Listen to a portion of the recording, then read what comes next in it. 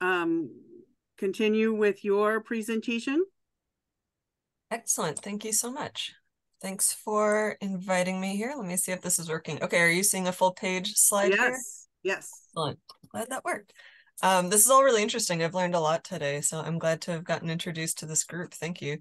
Um, and I think that this presentation will tie in well with some of the things that were just um, discussed uh, in the last presentation. And I was at a, a, I've been to a few different beaver conferences recently, and I heard one person say, you know, in terms of water, no matter what the problem is, the answer is beavers. You might not know it yet, but at some way or another, the answer is beavers. Um, and I've been learning this wasn't, you know, what I expected to do as part of my career, but they kept showing up uh, over and over again in our city in various ways, in the streams and the stormwater infrastructure, and it became, um, you know, someone had to take on beavers as sort of their main thing because they're they, you know, after humans, they're the species in the world who change their environment the most, for the most part, right? And so um, they have huge impacts on the land and on the water in their area, and that can have amazing benefits. It can also have a lot of conflicts where humans are also trying to do different things with the water.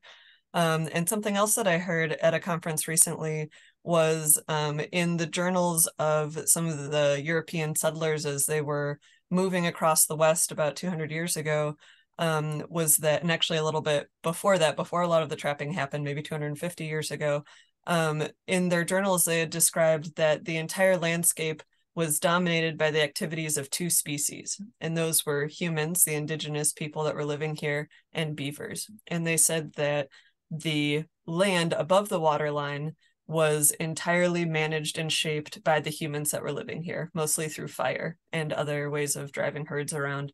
And that the water, all the streams, rivers, lakes, ponds, wetlands, were entirely managed um, by the beavers that were living there and all the things that they did.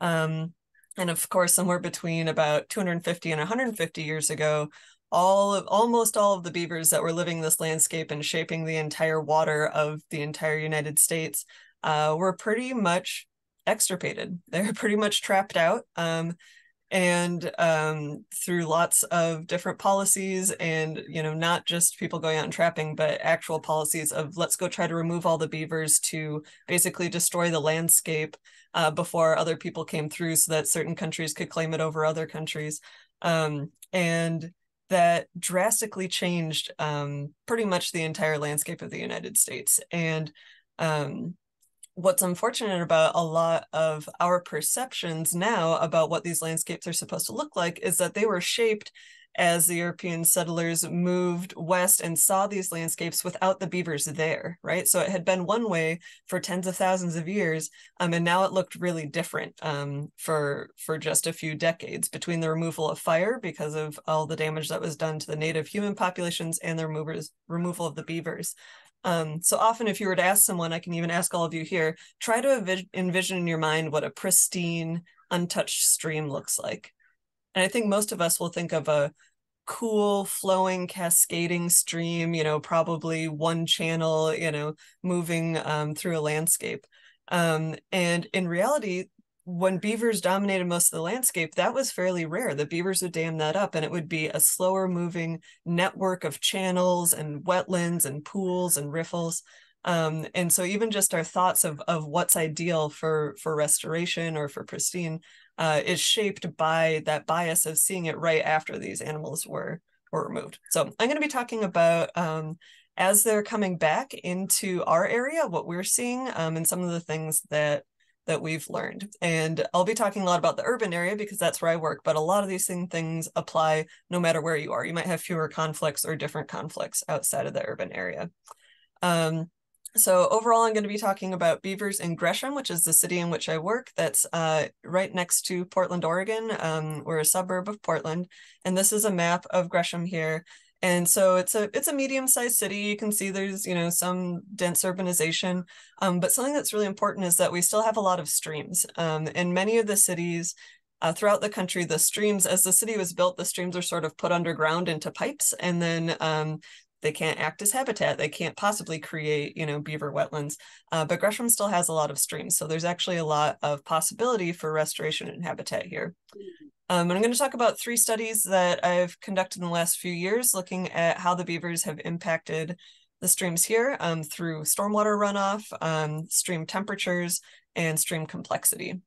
And then I'm going to talk a bit about the conflicts that that's uh, that the beavers are are creating in addition to all their benefits, and some things that we've been doing for coexistence, which has been really important. Um, so here's an overview of beavers in Gresham. So this is one of our main streams here. It's called Johnson Creek. It's a salmon bearing stream. It has three different species of um, Endangered Species Act listed salmon spawning it. We have coho, steelhead, and chinook all spawning in Johnson Creek, which runs right through downtown Portland, downtown Gresham, um, and yet it's still a salmon bearing stream, which is really exciting.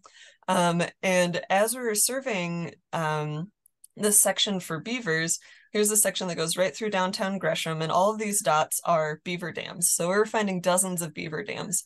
Um, and this is just a three mile stretch here. And the first year of the survey, about 20 years ago, we found two.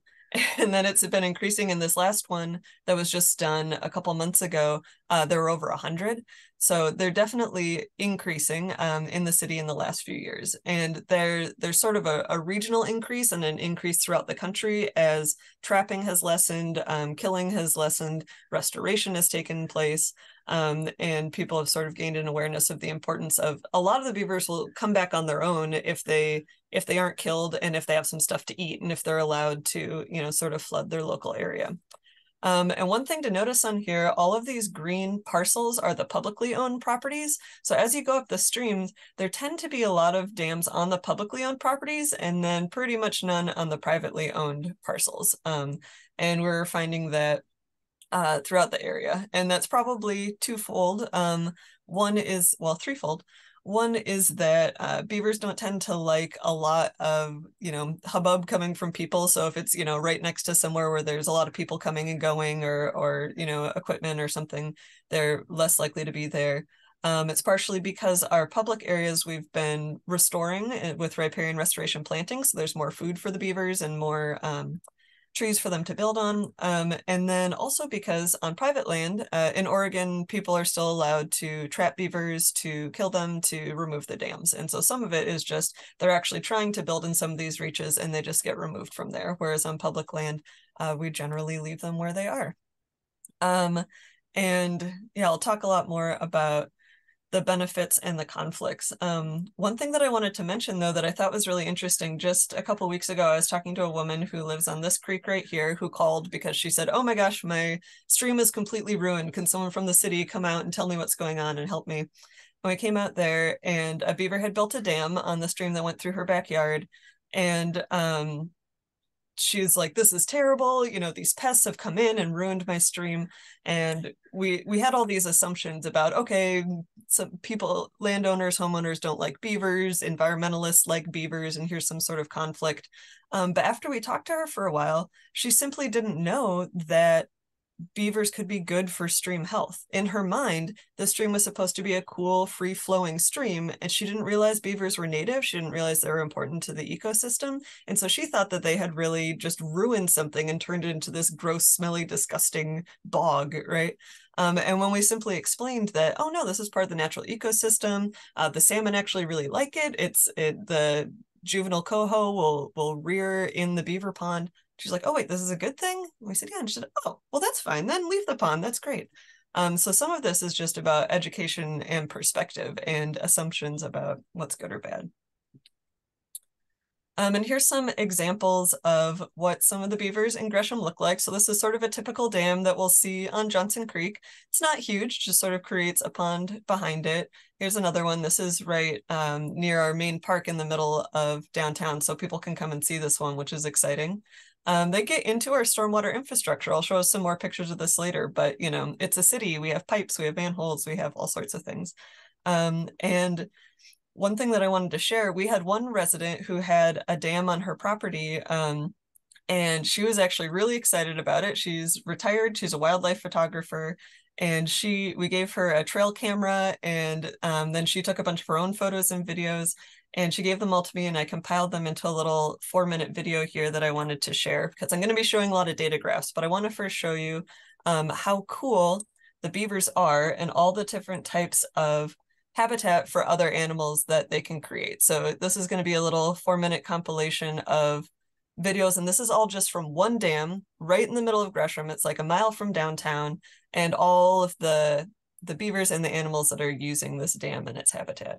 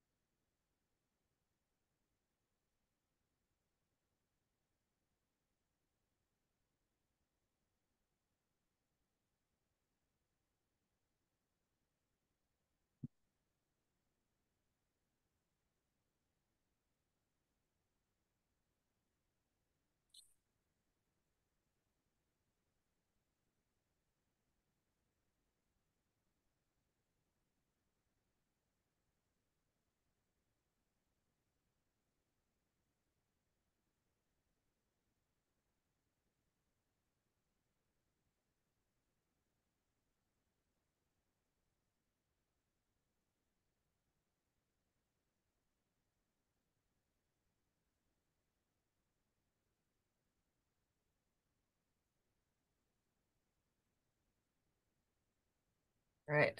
So that's a video that we use for outreach and education, and we give talks at the library about all this wildlife. And pretty much every single animal that you saw in that video has increased in abundance since the beavers have been returning to Gresham because those dams provide a variety of habitats. They provide, you know, they can walk across the dam, they can use the pond behind the dam, they help clean the water. So we'll talk more about all of that. Uh, so the first study I wanted to talk about is um, in a large constructed wetland. And my main job for the city is to study stormwater runoff and the pollution in that water and ways that we can clean it. And um, that's sort of how I first came about the, the beavers in Gresham. So this case study here is in a large constructed wetland, which if you're not familiar with those, um, this is a place where basically um, some engineers designed a facility where the dirty runoff that comes off of all the roads can help be cleaned by the wetland before it goes to um, the local stream. Um, and uh, this particular wetland here, it's about 13 acres and it drains about a thousand acres of largely industrial land. You can see all these big roofs here and they all drain um, into this wetland um, and get cleaned before it discharges. And before this wetland was built about 15 years ago, um, that water just discharged directly and uh, created a lot of pollution in the stream. And now it helps to clean it.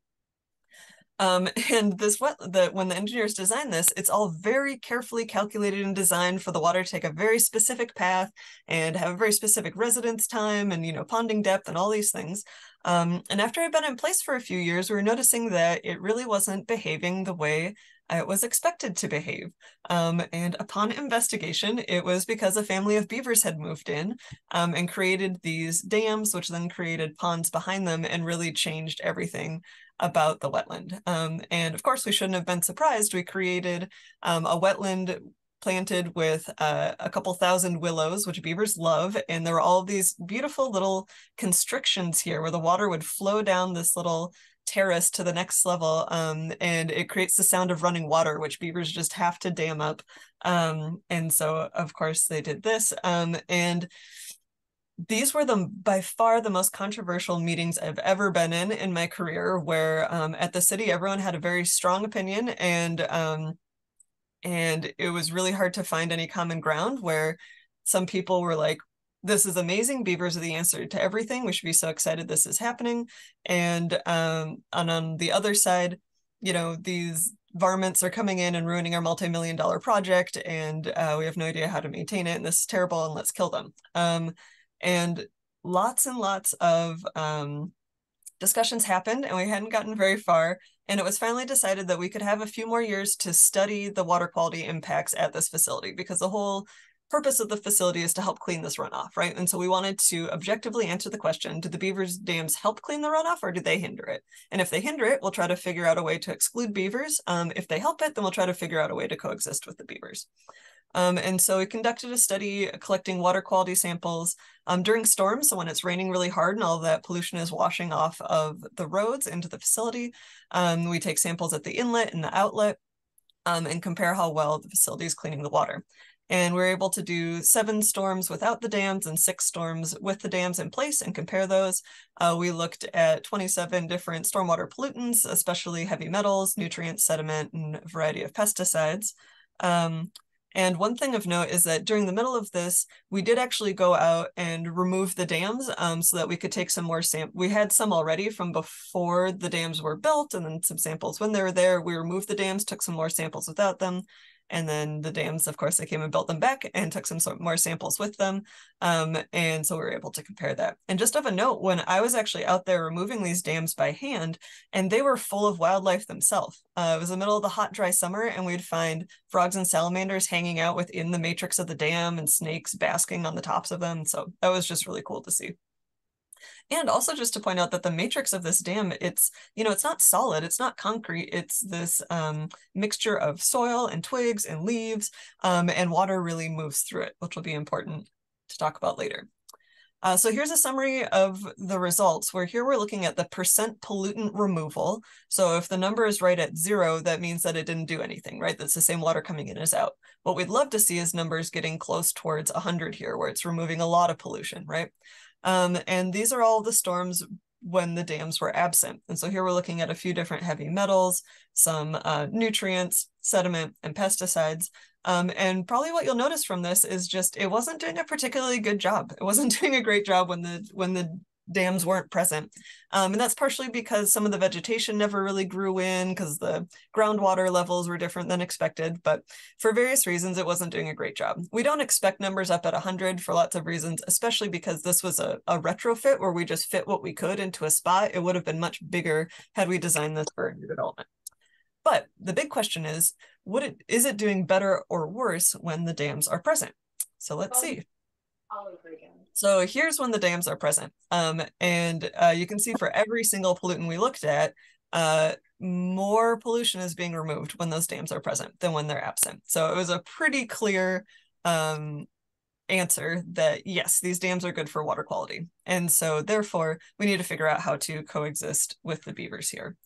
Um, and just to think about the mechanism, how does that work? How are they good for water quality? If you think about the Beaver Dam itself, this is one of the dams in the facility when there's a big storm coming through. Um, you see most of the water is not going over the dam, right? It's actually flowing through the dam, getting in contact with that soil, with those twigs, with all the microbes in the soil. So it's physically filtering the water. Um, there's uh, chemical transformations of products. There's biological transformation of the pollutants um, through the microbes. Um, and you know, in in stormwater science, we've known for a really long time that passing dirty stormwater through soil works really well, cleans a lot of pollution. That's why we have things like rain gardens and stormwater planters and and things like that.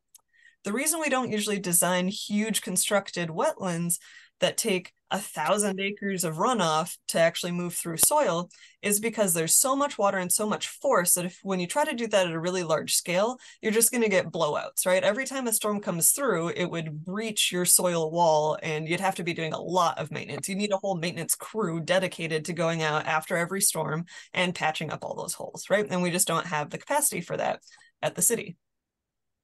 Do you know who does? The beavers, right? They're literally a dedicated maintenance crew that goes out after every storm and uh, patches up each and every little breach. If even just an inch falls out of one section, they're there the next night patching it up, right? So they make this perfect little uh, soil berm that all the water can filter through. So they're basically this amazing self-sustaining free labor, you know, way to clean the stormwater really well. Um, and just to understand, if you're not very fami familiar with green stormwater infrastructure, this is how some of the ways that the pollutants are um, captured in a constructed wetland with beaver dams. So the nutrients are often taken up by plants and or change form to be less toxic when they get to the stream. Um, the sediment is physically it's settled out and filters. Beavers are great for settling out sediment, right? They actually aggrade streams as they go. Um, the heavy metals tend to bind to, to um, the sediment and the matrix as they go through it and get filtered out. Um, pesticides also bind, many of those pesticides actually change form through the microbes into something that is less toxic. And so here are just some notes when I give this presentation to engineers or to cities who are building their own facilities, um, some things that we've learned to keep in mind when when either you do or you don't want beavers to show up for your facility, uh, to your facility. And the first thing we learned is just to consider them in the first place. Understand that beavers might show up and is it going to be a disaster if they show up? And if it is, then you should maybe change your design. Um, if you don't want them, try to minimize constrictions with the sound of running water. So this right here, for example, is um, in that same facility. This was our sediment forebay here that's supposed to allow sediment to drop out. And there's this very heavily engineered orifice structure here that was this lovely little slot um, that created this beautiful loud sound of flowing water. And so what do the beavers do? They come and just clog that up with the mud and grass here uh, every night. And our maintenance crew, and then this is flooding our access road and the sediment's not dropping out properly. Um, and it's going into the overflow structure. And so our maintenance crew would come out here every week and move the stuff off of here, right? And the beavers would come and build it back the next day. So this is uh, not very helpful for this. So I'll talk more about that later. Um, and then, of course, avoid planting beaver food if you don't want them there. If you don't want beavers, don't plant uh, a thousand willow trees. That was a bad choice if we didn't want them to show up. Uh, if you do want them to show up, which increasingly more people are wanting after seeing success of things like this. Um, most importantly, you need to allow extra space for ponding, which can be really hard. A lot of these facilities are built by developers as a requirement when they go in, and it's hard for us to require something that's above and beyond the minimum detention standards, right? And so if we're able to design our own facility, then we'd love to make it bigger so that the beavers can pond it, but that's difficult with the current regulations uh, for the private side. Um, plant beaver food, willows, alders, cottonwoods, um, and then most importantly, be open to change. Every time we thought we got a handle on something at this facility, you go out there the next time and it's totally different. They've built a dam in a different place. They've felled these trees. They've, you know, done something here or there. Um, and one theme that I've learned is that humans in general, and especially like maintenance operation crews in particular, um, really like to be in control. They they like to be the ones that are, you know, they know what's going to happen, they've got it under control, and they know exactly where the water is going to go. And it's it's almost just sort of a mind shift to being able to give up some of that control and allow it to be different every time and and see what's going to work. Okay, so moving on to the second study, I'm going to talk for a few minutes about heat as a pollutant. So uh, in or in our Oregon streams, actually, heat is our number one pollutant that's regulated for, and that tends to cause the most death of salmon. Well, other than a tire chemical called 6-PPD quinone, which if people want to ask about that in the questions, I'm happy to talk about it. Um, but heat actually is one of our number one. The streams are generally too hot for a lot of our cold water fish um, due to deforestation, destruction of the riparian area, loss of the beavers who help can help to cool the stream, um, and other um, and other reasons. Uh, building uh, ponds in the stream for irrigation can also really heat them up. Um, and so this is an example of in 2015, we had a really hot June and these were some Chinook salmon that turned into Johnson Creek to try to find some cold water and it was way too hot for them and there was a mass die-off event of these Chinook right before they could spawn. Um, and so one question that we were getting is at the same time that we were working with a lot of um, landowners, farmers to try to get rid of their um, their ponds that were used for irrigation or aesthetics. Um, at the same time, we were encouraging beavers, um, and we didn't have a lot of data on it. And rightly so, a lot of the farmers and landowners were saying, uh, "What's the deal here? You're saying that you don't like my pond, but you like their pond. Um, how does that make any sense?" And we said, "That's a really good point. Let's do a specific study looking at." Uh, how the human ponds and the beaver ponds warm the streams and and what the differences are. And so for this particular study, we looked at 14 human dams and associated ponds and eight beaver dams and associated ponds. Um, the reason there aren't more beaver dams on here, I told you we had 100, is because for this study, we wanted dams that were sort of big enough to make a substantial pond, so at least two feet high. And then we needed to be able to take a temperature point upstream of the influence of the of the pond and downstream of the influence of the pond to see what the pond is doing to the stream. And in that intermediate area, we needed to have no other um, huge influences on temperature. So there couldn't be another stream coming in or a stormwater pipe or something else. And so, and there couldn't be just another beaver pond right upstream of it because then we can't get that point. And so that was sort of the limitation. We we found eight that that would meet all of those criteria. And uh, just a summary of what we found here here we're looking at the change in maximum stream temperature downstream of the dam. So we're looking at that point upstream of the dam to downstream, and then how much did that stream change as it went through that pond. So we're not looking at the temperature in the pond, just upstream and downstream of it. And um, the average, there's a lot of variation in all the in all the ponds. Um, and in the human ponds, the average is about two or three degrees Celsius, which can be pretty substantial. Um, the streams in Gresham tend to be above the summer temperature standard for already about two months of the year in the summer. And with this extra two or three degrees Celsius, suddenly now they're above it for about four months of the summer. And so if you're a, a, fish trying to find a place to hide out for a while, four months is a lot harder to avoid than two months. Um, whereas the beaver ponds, look at this, on average, they slightly cooled the stream, right? In terms of um, of the the maximum temperature upstream and downstream of it. And I'll talk a little bit about why that might be. And then in terms of regulation, this is the number that we're most concerned with. I sort of mentioned it a second ago, but this is the added temperature exceedances downstream of the dam. So if the um, if the stream is already exceeding for let's say two months of the year, how many additional days is it exceeding by the time it goes through this pond? And you can see on average here, it's an extra 50 days. So almost two months if it's going through a human pond on average, it's a lot of variation look at this, pretty tightly around zero here. The, the beaver dams didn't tend to add many, if any, exceedances to, to that. And again, the key to this is because of the porous structure of the dam itself. So with most of the hu- human dams, it's made out of concrete or some other impervious surf structure. And the water, as it heats up, it stratifies. We found that in any pond, beaver or human, that was at least two feet deep, we got substantially colder water at the bottom than we did at the top, right? And so you have this hot water at the top. And if you have a concrete dam, that hottest water is skimming right off the top and being sent downstream, right? So all summer, you're taking the hottest of the hot water and sending that on. So no wonder it's warming up. Whereas the beaver dam, with its porous matrix of uh, mud and sticks and grass, as that water comes, there's usually no water flowing over the dam at all in the summer. It's all flowing through the dam. So you're getting some of that hot water from the top, some medium water from the bottom, and some cold, or from the middle, and some cold water from the bottom. And all of that's going downstream and mixing. Um, and in some of these areas, the reason it might actually help cool it is that by ponding up the water into that wetland, you start to enhance uh, hyporheic flow and exchange with the groundwater, and you can actually get some cool water that's sent downstream. And I'll just note here too that just having this pond here, um, whether it's a human pond or a beaver pond, having that differentiation in temperature instead of just having one stream, by having a pond that has some warmer water, some medium water, and some cooler water, um, a lot of fish or other aquatic wildlife that um, needs a specific temperature, it can find that, right? If you're something that needs warmer, you can get up higher. If you're something that needs cold, you can go and find something colder. So just having the pond there gives some variation of habitat. And if you walk this stretch section of stream, you'll see all the little fish hanging out in these beaver ponds down in the bottom, right, in the hot summer.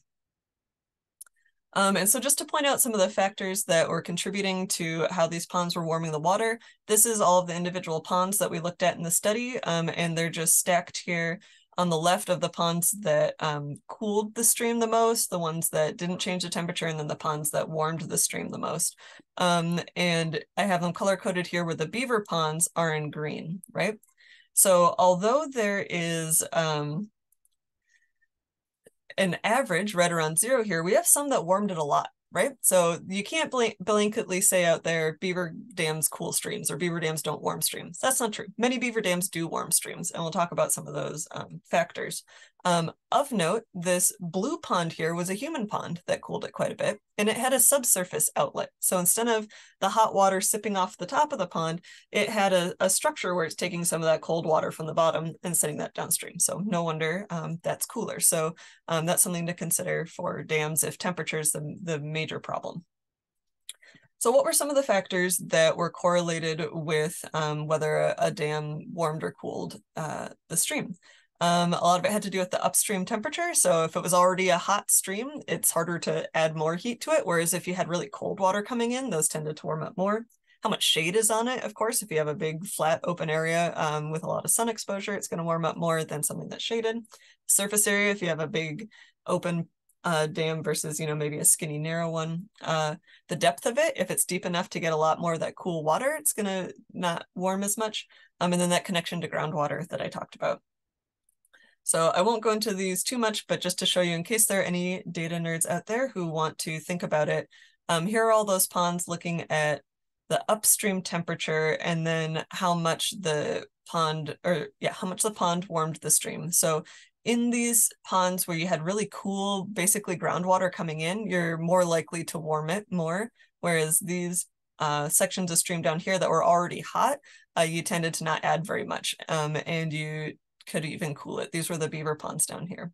And of course, there's a confounding factor here where most of these beaver ponds were on these bigger, hotter streams than on the tiny little streams because there's not much room to dam there. Um, and similar surface area, of course, the, the more surface area you have on a pond tends to warm more than your ponds with little surface area. Um, and then uh, if you just look at the beaver in the subsurface versus a surface release, that's where you're seeing the really big difference here of, of how does that water get sent downstream? Is it over the top of concrete or is it through the dam itself?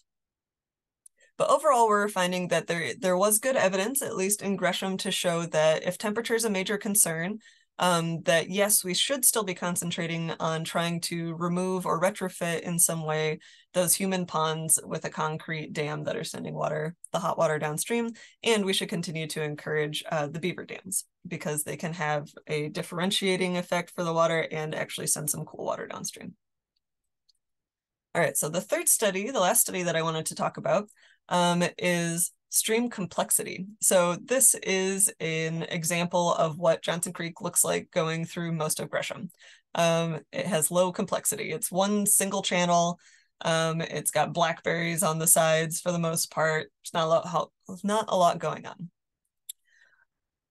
And uh, when the beaver dam started to become more common over the last five to 10 years, uh, we were starting to see something different, which was really surprising and exciting. Um, this is actually, the, I took this picture, the landowner who took all the wildlife photos, who's really excited about the beaver, she called me one day and she's like, Katie, there's unembedded cobble in Johnson Creek. You'll never believe it. Come over. And I came over and these uh, this gravel bar here, we had never seen that in Johnson Creek. and all the years we've been working there, there's so much sediment that comes in from erosion from the farm fields that it's like it's like concrete on the bottom of the uh, pond where or stream where all of these cobbles would be sort of embedded in sediment.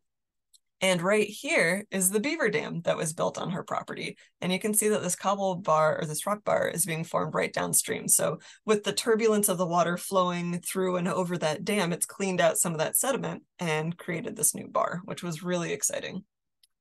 Um, Here's another uh, dam on Johnson Creek, and downstream of it, the cobble bar has been there long enough now. It had been there about four years at this point that grass was growing on it and the water is splitting to go around it.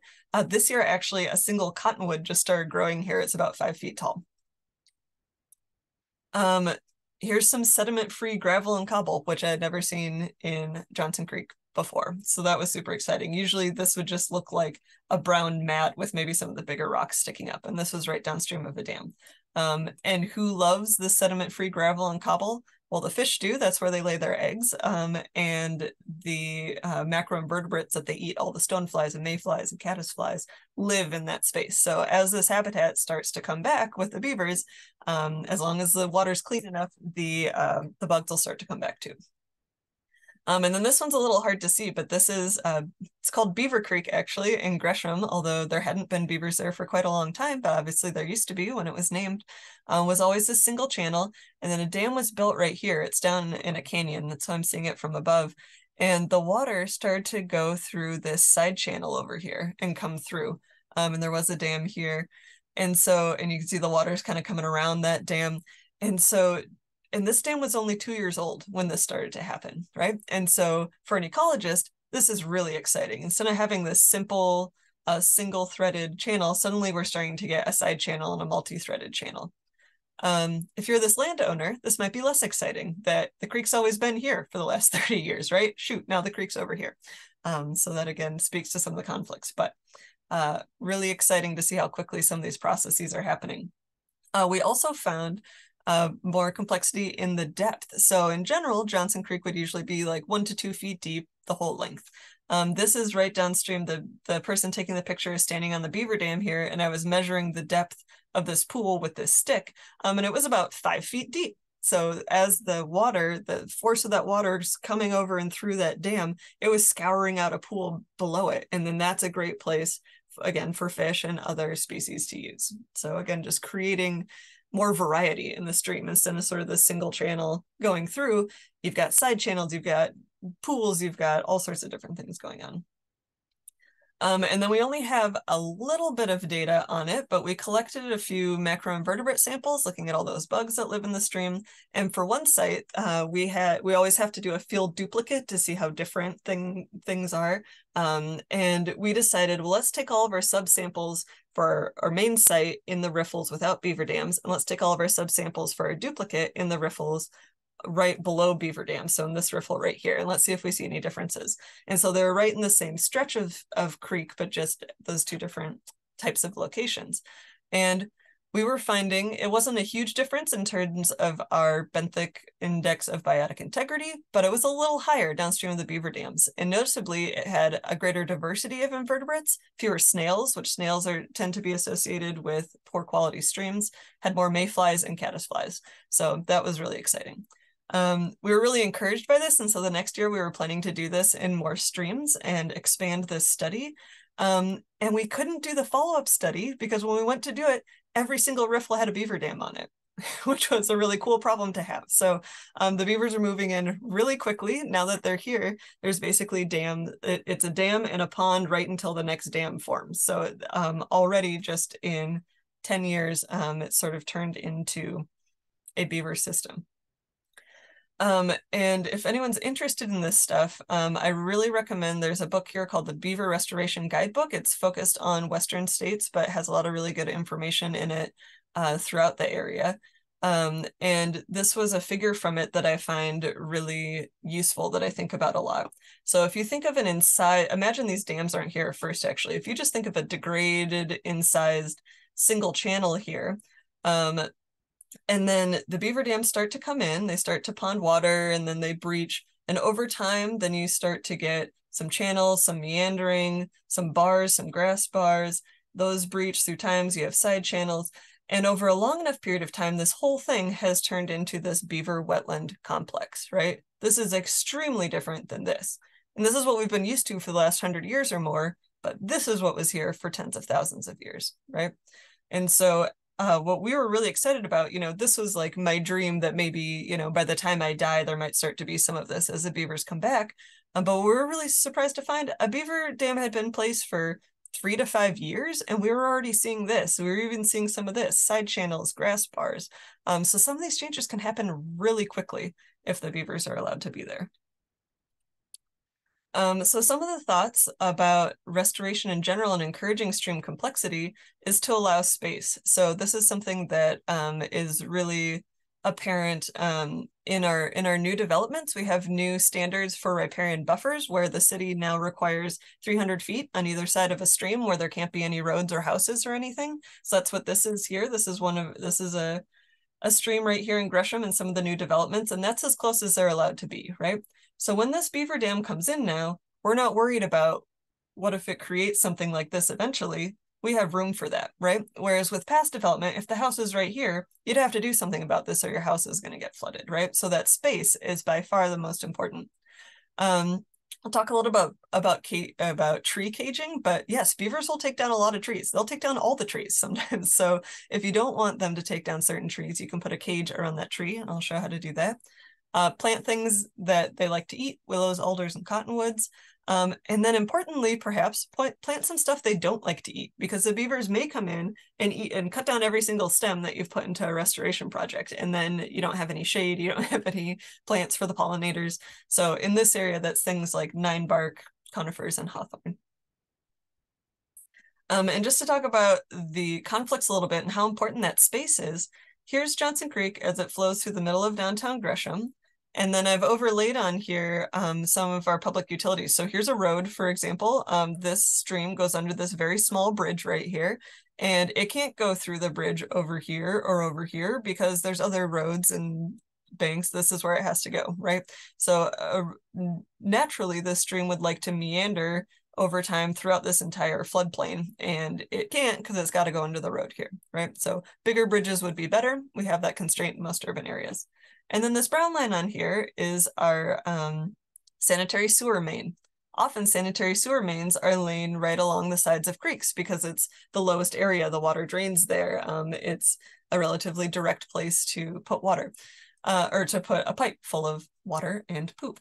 Um, and that's all well and good when they laid it, and this is exactly where the stream was at that moment. But now it's kind of important that the stream stays right here. If it meanders over here and over there, your wastewater pipe's got to wash out, and that's a problem.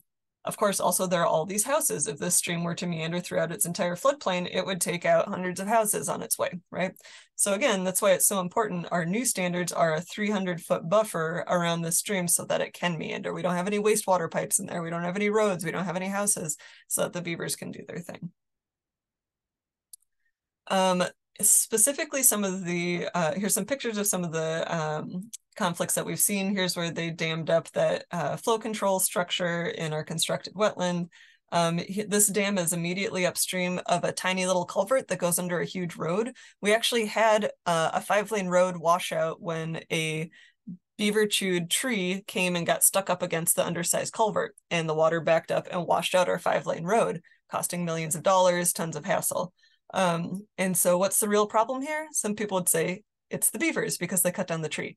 Um, other people would say it was that undersized culvert. If you had a huge, broad um, area for the stream to be able to fit through, then it wouldn't matter if the stream moves or there's a dam or a tree comes through, it can pass that. So when that uh, culvert was rebuilt, instead of being 12 feet in diameter, it's now a 40 foot arch culvert that has a lot more room for the stream. Uh, here's a manhole that some beavers built a den in. So they they love to enter underwater, and they had dammed up right the stream right downstream of this outfall, so that the entrance to this pipe was underwater, and they had this safe little area to live and and lay their kits in in the manhole. This gets seen quite a lot actually, which is a problem. Um, and here's some that are just in the infrastructure in general. Um, damming up various aspects of it. So these are all things that our operations crew are not super excited about. Um, but luckily, uh, we found a way to get around all of these conflicts. Um, and that's we hired um, an expert um, to help us build some coexistence structures. Um, in Oregon, there's a company called Beaver State Wildlife Solutions. Um, in pretty much every state, there are people who do this. I'd recommend checking out an organization called the Beaver Institute. Um, they list out sort of certified or recommended contractors who can do this stuff um don't try to do it yourself when this is what happens when you try to do it yourself often maybe tree tree caging you can but you think you put a cage around the tree and the beavers come right you need a specific type of wire specific type of height and distance from it and especially building some of the other structures it's much more complicated um, i wanted to throw out this is something that we were piloting here um, a completely biodegradable tree protection where we plant a willow stake here and if if we don't put any protection and plant willow stakes, the beavers will often come and chew down every one. And sometimes they'll resprout and sometimes they won't, depending on how big of a stem we put in there. But if we cage the initial stem and then as it sprouts out, the beavers eat those, it's like they keep snacking on all the little edges and the main stem keeps growing. And then this thing uh, decomposes at the end, which is cool. Um, this is some of the more fancy stuff that our contractor builds. This is called a culvert protector with a pond leveler. So here's our tiny little undersized culvert here. This pipe, and this is where the beaver dam was. So now when they rebuild, they'll build around this pipe and this cage where the inlet comes from will be under the pond. So then this, uh, they can't dam the culvert itself and the pond can't ever get too deep to wash out the road. Um, but again, we tried to do this ourselves and we're like, ah, the beavers are too smart. They figured out this stuff doesn't work. But then when we hired someone who knew what they were doing, now it's great and it's been in for many years and is doing its job perfectly. Here's a culvert protector where the beavers are damming up that slot at our sedimentation forebay. They build this special trapezoidal shaped fence. The beaver can get out and around it. It can dam these edges here, but it can't actually block it off. Um, and a quote from our um, stormwater maintenance operations lead said of this specific um, installation, these things are worth their weight in gold, right? This is one that he came out to every single week, had to put his waders on, get all muddy, pull out this mud and grass, and be back there the next day. Um, and now he hasn't had to be out there in three years. This thing keeps the beavers out. They're happy. He's happy. Everyone's happy. Uh, so overall, what we're learning in Gresham about beavers is that urban urban beaver populations are increasing, and we've heard that throughout the country. I've been to some talks like this throughout the country, and that's been true. And not just urban, rural pop populations are as well. Uh, we're finding that beaver dams can help clean stormwater, help remove many of those pollutants and transform them. It can help maintain stream temperatures and even provide a lot of variation in temperature and help to cool certain areas and they can create stream complexity really quickly within just a few years of coming there and help reverse some of the damage that's been done by all the straightening and um, flash flooding of the areas with urban uh, stormwater. Um, but of course, the beaver activity can create a lot of conflicts with the infrastructure. Um, but coexistence structures uh, can be really helpful if you have a professional building them. And so in general, what we're finding is that beavers can help reverse problems caused by urban stormwater for those who are willing to take up the challenge to work alongside them. And so it's still, you know, it's still a bit of a mindset to make sure that you're okay with change. There are some people who want to still just go in and trap them all out and take down all the dams. Um, but if you're willing to invest a little bit of time and energy and um, adaptability, uh, it can be really beneficial for all involved. And I think we have time for some questions. Well, this is this is wonderful. There's some good questions, but Mark has his hand up, so let's Mark. Uh, can you? Thank you. Um, I want I want to share what all of us in this field used to do 50 years ago. We looked at good sediment versus bad sediment. Okay. Hooker et al. did the research. It's the particle size distribution, and the natural sediment has a. It's almost all small particles, and that helps the the all the critters, macroinvertebrates, and so forth. And so I recommend you do look around and actually analyze the sediment and see if it meets the guidance for what's called natural good sediment and versus bad sediment. And Excellent. Thank you. That's a that's a good suggestion. know, Coker et al. You can look up that online. I think. Okay. Our first question was, were the beavers already there, or did you introduce them? Yeah, excellent question. We did not introduce any of them. So they're in the surrounding area and then they're moving in. And I think what changed is that uh, fewer people were trapping them out. Uh, more land was bought up as public land, and so we weren't trapping them out there, and more restoration was happening so that they actually had something to eat if they came in. Uh, but they all came in on their own. So there are a few places I've heard where beaver reintroductions can be useful in like really remote alpine areas, for example, or if there isn't one for if there isn't a beaver population for hundreds of miles. But beavers are actually really good at dispersing and they'll often move into suitable area um, if if you allow them there and plant some food for them. Yeah, that was my question because we had a speaker. Uh, it was a, a father and his adult son, and they had this little program that got funded by the state in Washington. And the beavers would go to another home; they just wouldn't stay where they were relocated. But in Right. Washington, in Seattle, actually, there's a, a good park there that uh, goes into our salt water, and apparently the, the the beavers have built a dam in the creek there but the water level is so low that the salmon can't they can't breach the beaver dam. And so they're waiting for um, they're hoping that the water will be um, you know high enough now um, and that the the stream is not in its natural state. So it has a lot of concrete around it if i understand it so that this you know so the beaver dam is hard for the the salmon to breach right now Yes, and I have heard that uh be a problem in some areas, and I've definitely seen seen some dams that would be really hard for a salmon to breach. Um, and in general, what I've heard from salmon biologists when I've asked that is yes, it can be a problem sometimes. And the salmon co-evolved with these beavers for a really long time. And in general, the beaver dams provide more benefit than um than blockage, uh, but it can be a problem, especially in a in a degraded system where maybe there aren't those side channels yet for them to get around. exactly yeah Gloria asked, our beaver dams are covered with vegetation. Does the vegetation add to or subtract from the water cleaning um, effectiveness? Yeah, it add to it generally. So especially roots of vegetation um, have a lot of microbes associated with them that can that can help with water quality and um, yeah, in general that. And then even when the water flows over it, then it's filtering through the vegetation as well. So yeah, we get excited when our dams have been around long enough that there's vegetation on top, and that can help it even more. Now, Jeff commented that it removes phosphorus. I suppose that's because plants uh, need the phosphorus to uh, grow and build protein.